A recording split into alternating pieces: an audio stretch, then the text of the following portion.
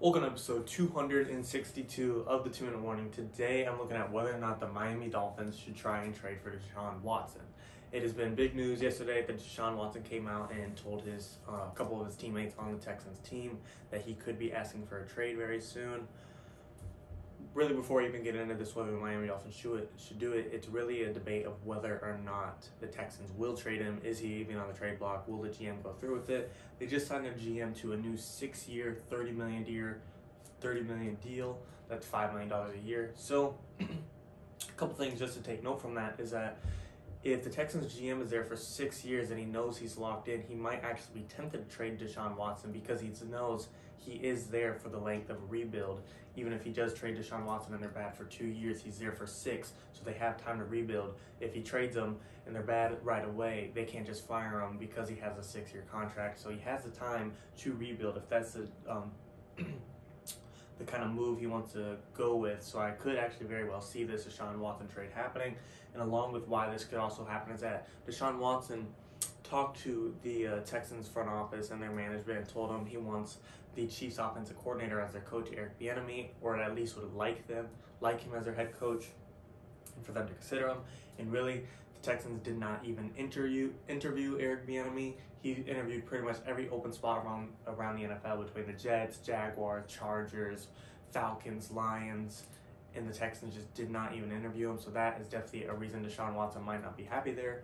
First, he doesn't have a team around him to throw to. He does not have protection. He does not have a defense to rely on to get a stop, and he does not have a coach that he likes. So this trade demand, which isn't really a demand yet, he hasn't came out and actually asked for one, is definitely makes sense from his perspective, I get why he's asking for it. But the number one target that instantly came to my mind was the Miami Dolphins. Just we've seen a lot of debate of and skepticism around the Miami Dolphins of whether or not they should keep Tua Tagovailoa.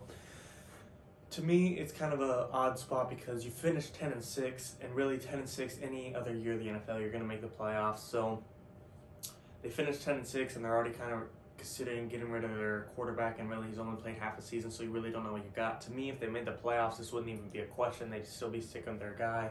However, they don't have they didn't make the playoffs, unfortunately for them, so it definitely raises a question. But looking at draft capital and what a team could get for Deshaun, or what the Texans could get get for Deshaun Watson, because he's like a top seven quarterback in the league, and you're not going to get um, you're not going to get a proven quarterback in the league that's ready to win now and has Super Bowl talent for cheap by any means. There's only like five or six, seven teams that won't take him, such as the Chiefs, Packers, Chargers, Bengals, um, Seahawks.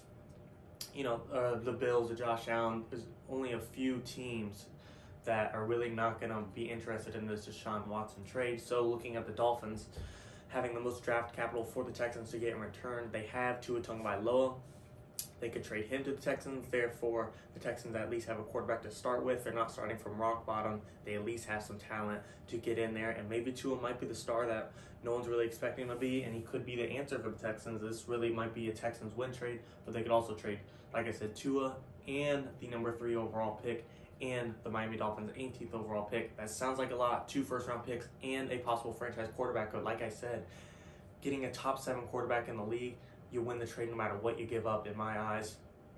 It's just a franchise player, a player that can last 15 years and get your team to a Super Bowl. I know it's a big shakeup for the Dolphins if they just move on from Tua to Deshaun Watson when they already had a great winning season. But to me, you got a coach, you got a defense, you're lacking on receivers and a no line, but you have a top quarterback in the league who arguably is top seven, top six, but maybe could jump up to top four, top three when you get the right coach. Brian Flores is an amazing coach for the Miami Dolphins. They're going to get a new offensive coordinator. I think this potential for the Dolphins would be absolutely huge. And I think they should at least definitely talk to him. If they could even save one of those first round picks, maybe not trade away their 18th, just trade for Tua and a third rounder and maybe and their third overall pick and maybe a third or fourth rounder and keep their 18th overall pick, that would be huge because that could they could use that 18th overall possibly get Deshaun Watson an extra receiver on the Dolphins, an extra O lineman for protection. Really, the defense. yeah, you can always make something better, but the defense is the one thing of the Dolphins you don't really want to touch if you don't have to. If it's not broke, don't fix it. Xavien Howard, stud corner for him, led the league in interceptions, and the rest of the defense is just locked down as well. To me, leave the de- defense alone and worry on the offense. Get your quarterback, whoever it is, whether you don't trade or you do trade, another weapon to throw to. I like DeVante Parker and I like Mike Gesicki, both great talents. But they are not enough to take the Dolphins to a Super Bowl, so they need one extra guy.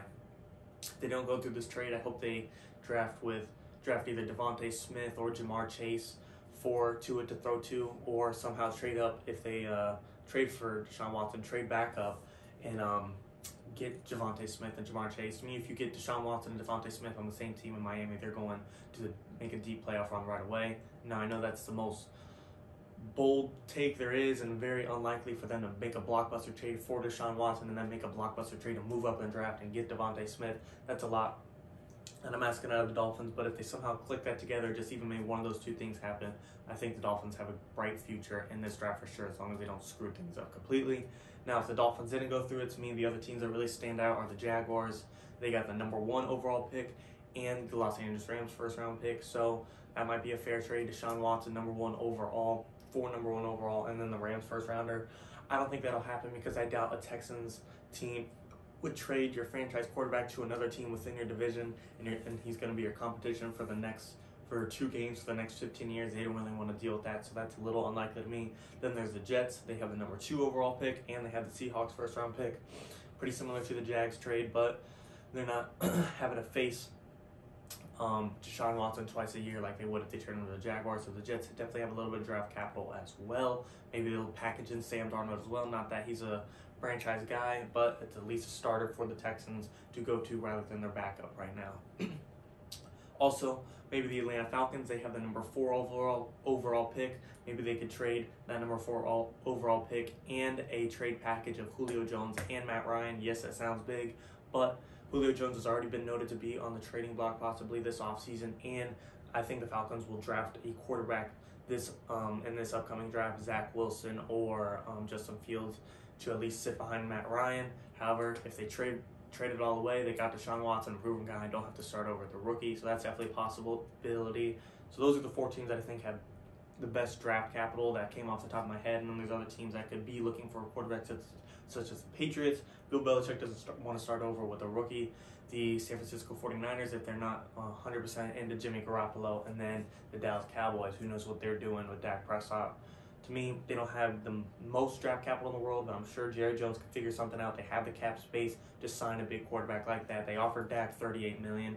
He said no, or some 30 something million. It don't know the exact number. So they have the money to pay a quarterback, and Sean Watson could be that guy.